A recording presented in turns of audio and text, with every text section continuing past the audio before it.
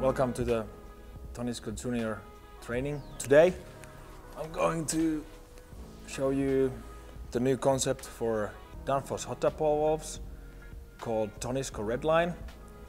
The concept is two suitcases. The other one contains the hot tap machine and the other contains the adapters that you need for the certain type of Today I'm gonna show you how to, how to make a DN150 steel line hot tap using DN150 Danfoss hot tap ball valve. Some of the features, low stem, the cork on the stem, the bottom end is welded, weldable and the upper end has a thread for the hot tap machine connection. The machine that we're going to use today is Tonisco B30. Hot tap range for this machine is uh, from DN40, so one and a half inch up to DN200, which is eight inch. The machine comes in a handy suitcase where all the all the different parts have their all, all have their own places on the suitcase. So if you just this, uh, remember always to disassemble the machine after use, clean all the parts and put it back to the suitcase. The machine will last forever. When hot tapping with the ball valve, we have to start by checking the valve that it works properly. So we want to check that the connection threads are clean and visually check that they look okay. Then we want to check that the ball works like it's supposed to work. So we're gonna see that the ball is now open. The mark here shows that it's open. Then we're gonna close the valve, see that the ball goes without problems. Everything seems to be okay. Then fully open the valve again. Like this. And then we're ready to start.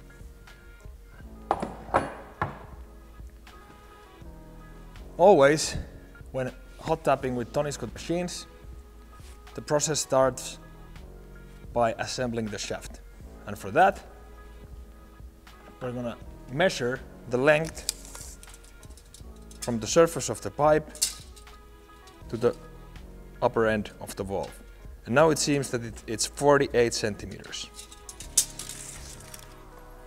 Then you could take the manual, check how many shaft extensions we need and carry on like that. But myself, I always want to try in real life and then fix if I have some problems. So take the base shaft and now I have a feeling that two extensions are enough.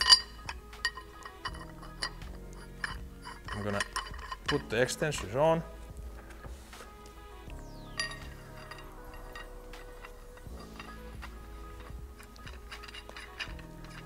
Like this, screw it a little bit.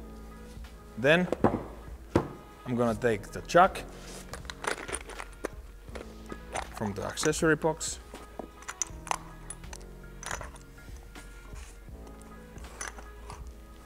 And the hole saw, which in this case is going to be 121 millimeters. The reason for that is because Danfoss ball valves bigger than 100 are reduced bore. So it means DN150 has an opening of 125 millimeters. So we will choose hole saw 121. We will put the hole saw to the chuck, tighten it just a little bit, take a little bit back so that the pins that actually lock the hole saw will find the holes of the hole saw like this. Then we're gonna lock the pins with the shaft by turning the chuck in place like this. So now The shaft is assembled, the hole saw is in place. Now we just need a pilot drill. For this drilling, because the cutter is not so long, we're gonna choose the normal pilot drill. Before we insert the pilot drill, we want to put the magnet to the pilot drill. The magnet goes to the pilot drill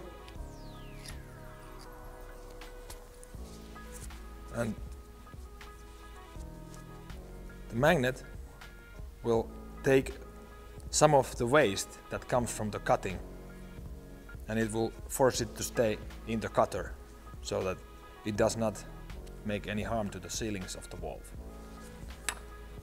We're gonna put the pilot drill in place, tighten it first just a little bit and check that the pilot goes to the notch like this and then we're gonna make the final final tightening. Just a little bit. Like this. Now the shaft is assembled. It should be the right size then we're gonna put some because it's a steel pipe we're gonna put some Tonisco metal cutting paste to the tip of the pilot drill and to the hole saw. The metal cutting paste will make the cut easier and also make the pilot drill and the cutter last longer. After this, we're gonna put the shaft to the valve. Just put it there, like this. Then we're gonna take the threaded adapter, put it on the shaft. You could also build the complete the machine already with the adapter and all, but then it, it sometimes can be a little bit hard to get those threads in line. So this is, I usually choose to do it like this. And now, now the adapter has a counterclockwise thread, which means that it will be it will tighten counterclockwise. So I'm gonna find the starting point.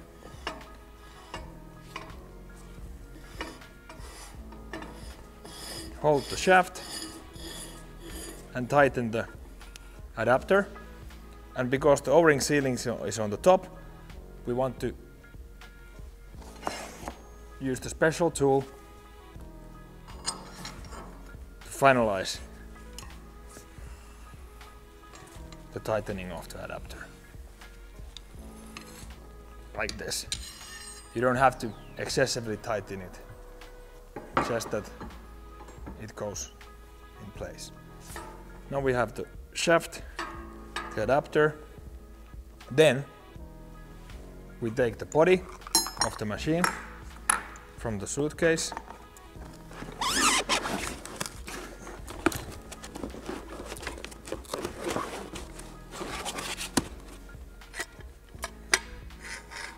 remove the feed socket. Check that the sealing is clean. Add some lubricant.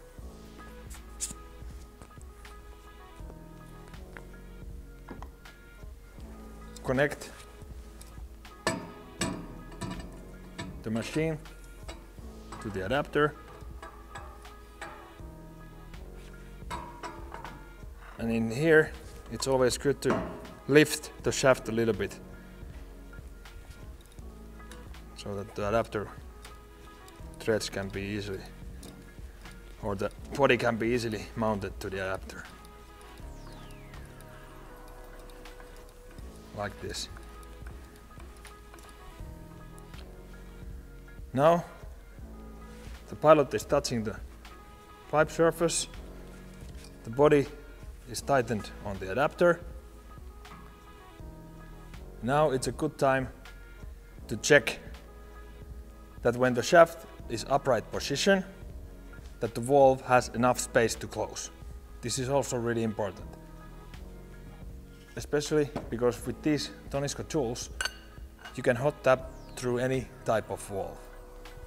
So this is really important to always check that the valve has space to close before you start hot tapping.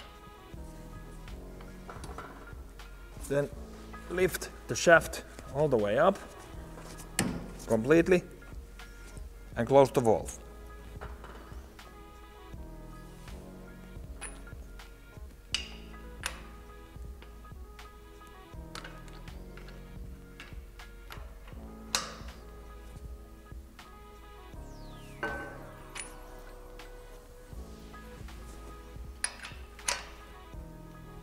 like this. Now we see that the shaft has plenty of space. The valve can move freely. So now this is good. Then fully open the valve again.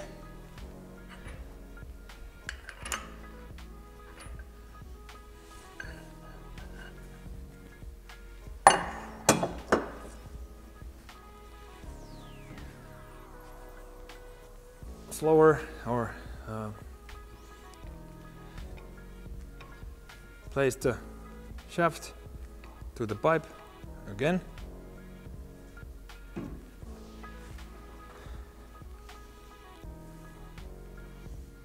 Now we're good to proceed.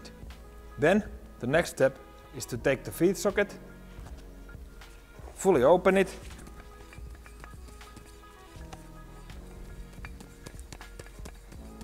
by opening always the feed socket fully, it will automatically find the right starting point if the shaft is the correct length.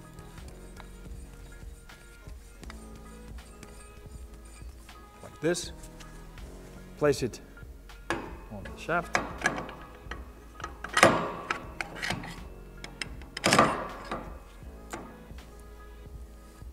And now we see that the notch that the feed socket selected is the last notch that there is. So this means that we may end up in a situation where we do not have enough drilling distance to make the, the drilling. Therefore, we can conclude that the shaft is actually too short. But no worries. That's why we have also a shaft extension socket in the kit. We can just simply put it on top of the shaft and insert the socket again.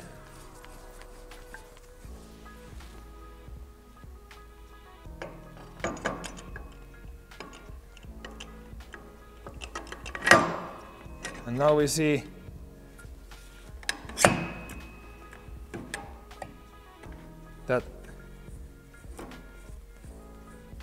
the starting point has changed and it's not the last one but the second last which is really good.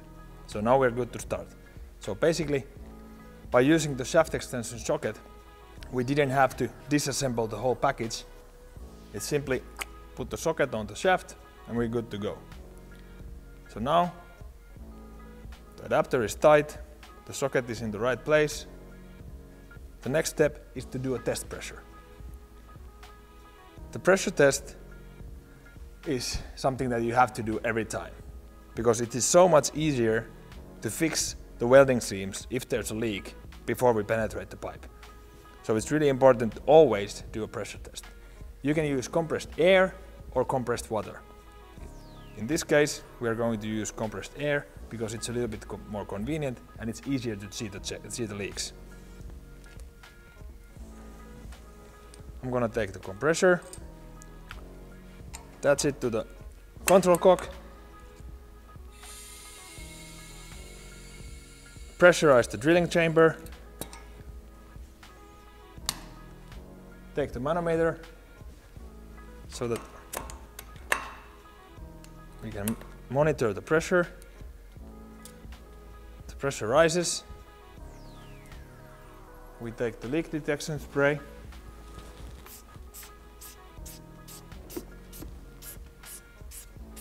and we check all the welding seams.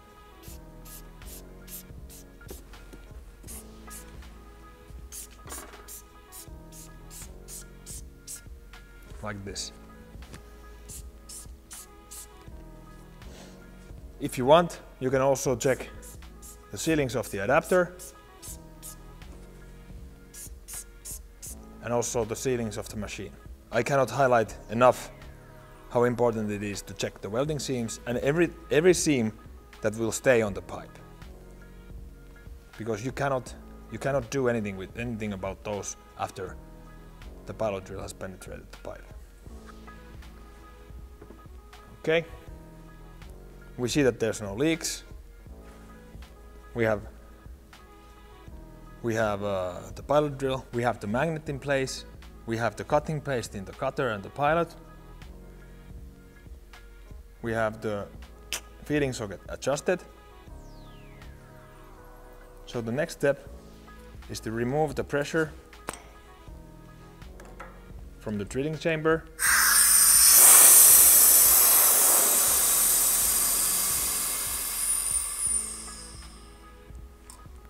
Put the manometer back on. Take the drive unit from the suitcase. Insert it to the shaft. And always, if you need to turn the shaft, always turn it clockwise so that the threads won't open themselves. Then secure the drive unit with the locking screw.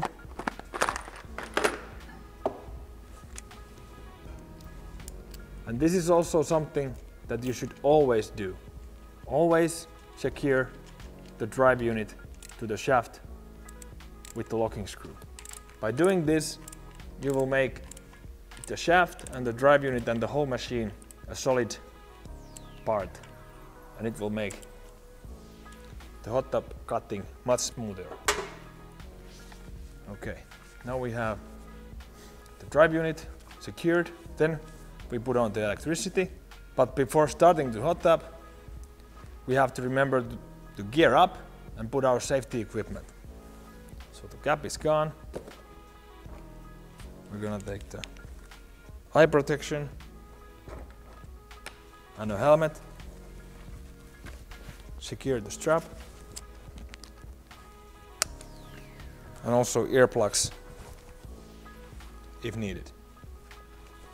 And then, before we start, we want to make sure that we have we have um, an environment where we can start with a good posture. It's really important to have a good posture when holding the drive unit and feeding the cutter. Therefore, always make sure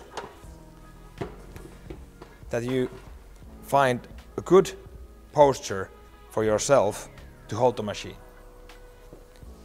So, because the turning motion will put some pressure on the drive unit, so you want to put the counter, counter pressure from your body.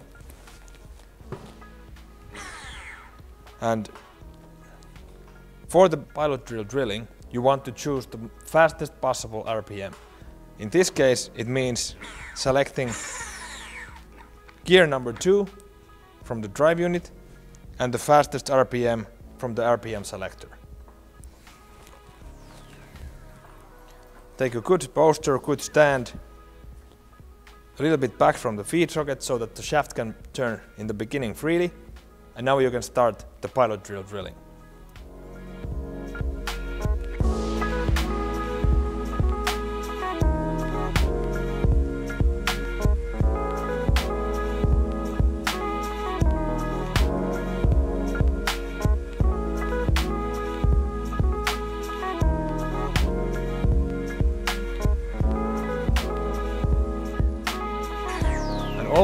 Cutting, do not use excessive force.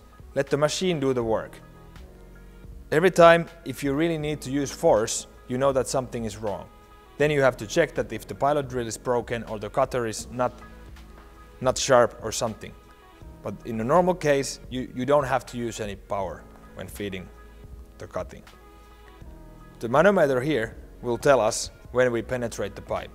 So also control the manometer when doing the pilot drill drilling.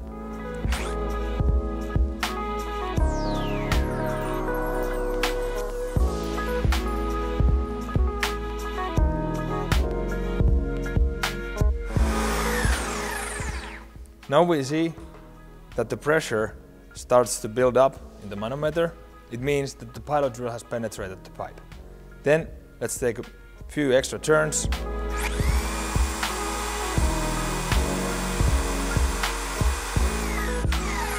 Like this, and now, now we know that the pilot drill has penetrated the pipe.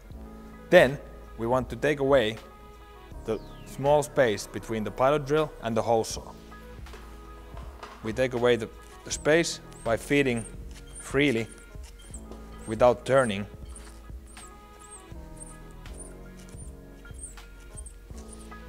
And also here, we can hear when the barbed wires touch the pipe if there is no extra noise.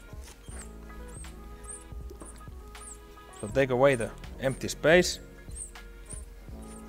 It's easy to feel it when the feeding doesn't go anymore.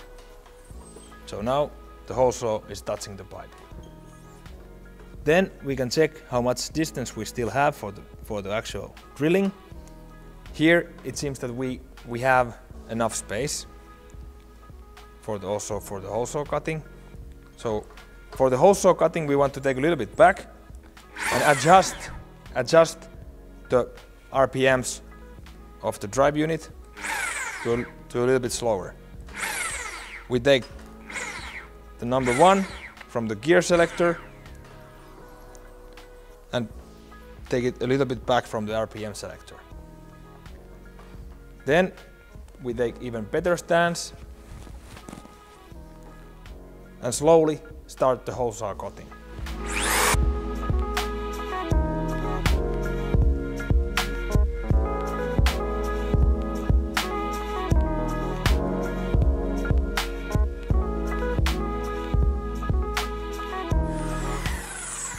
And also with the hole saw cutting, you do not want to over overfeed.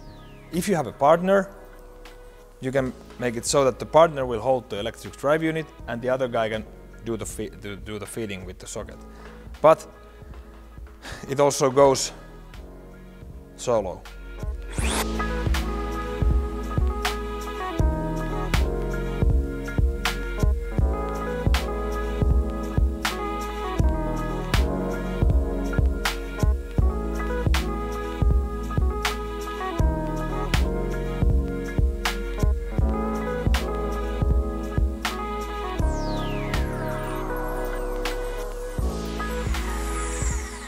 When the saw penetrates the pipe, you can hear it from the drive unit and you can also feed it from the socket. It's not a speed race, so try to, try to feed slowly and let the machine do the work. Uh, after the penetration, we always want to double check that the hole saw has gone through. So let's take a few more turns.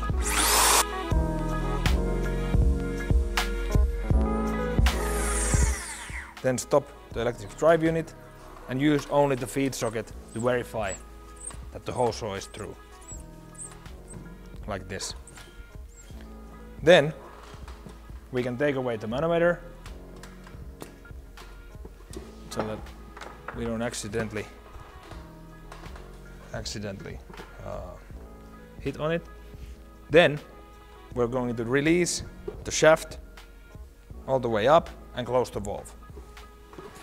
And if the pressure is less than 12 bars, you can use your own body weight.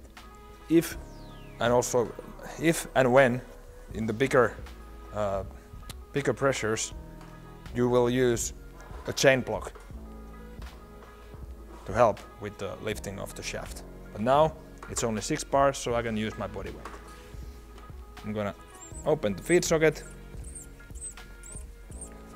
release it and slowly let the machine take the shafts up.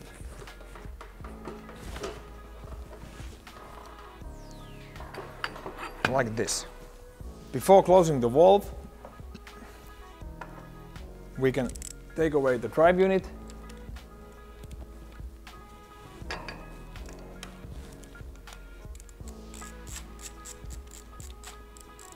also remove the feed socket. And by doing this we will remove all the excessive weight on the shaft so that when we in the last stage when we depressurize the drilling chamber the shaft do not drop on the ball. So let's take the feed socket away shaft extension socket away before closing the valve, we want to take as much waste, drilling waste, away from the chamber as possible. And we're gonna do that by flushing the drilling chamber. We take the pressure relief hose, insert it to the control cock,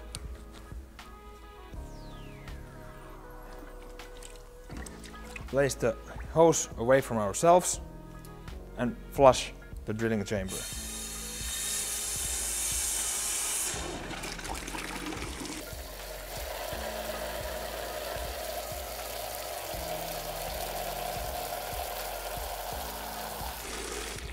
Like this.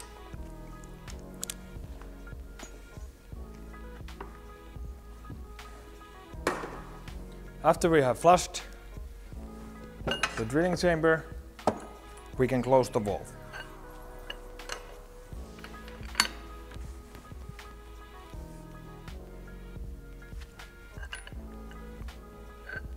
The mark on the chuck will tell us when the valve is fully closed. Like that.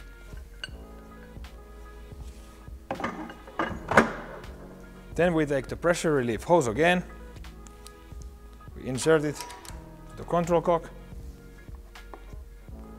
and depressurize the drilling chamber. If you have a partner, it would be good that the partner could uh, hold the shaft while emptying the drilling chamber so that the shaft do not drop on the ball. I don't have a partner now, so I'm gonna slowly depressurize it like this and hold the shaft myself.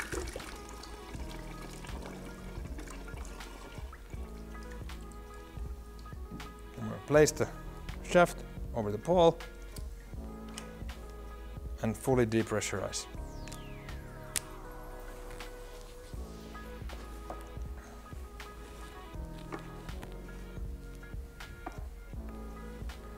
Now we have depressurized the drilling chamber, the valve is closed, then we can disassemble the machine and the adapter by opening it by turning clockwise, like this. And I, I always like to also hold the shaft while I'm opening the adapter, just trying to avoid hitting the ball with the shaft, like this.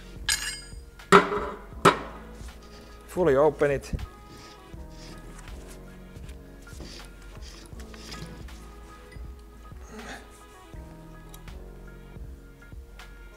Now we see that the coupon is there. There's no excessive waste or cuts. And you would say this is a successful hot tap now. But it's not over yet.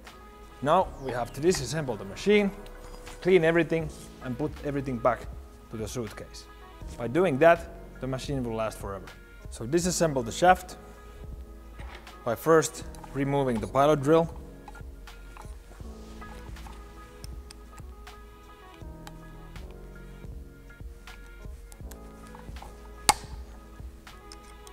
this. Remove the pilot drill with the coupon. Take away the coupon. clean the pilot drill, take away the magnet, clean the magnet,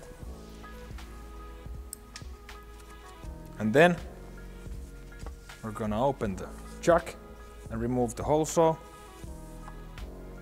For that, we're gonna need the shaft opening pins and the two special Tonisco keys. Put the shaft on a clean and even position. Take the Tonisco special wrench, slide it on the shaft.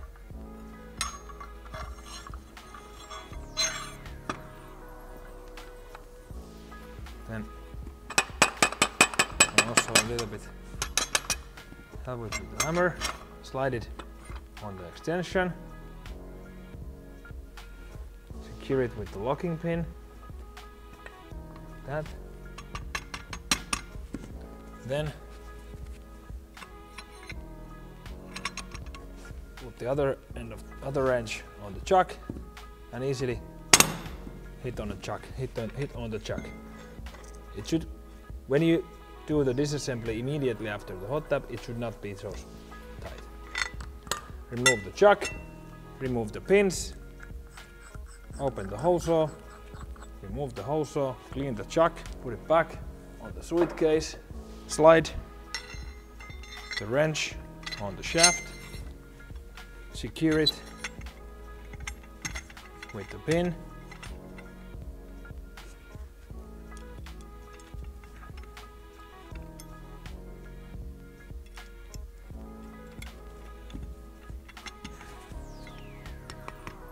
this and then open the shaft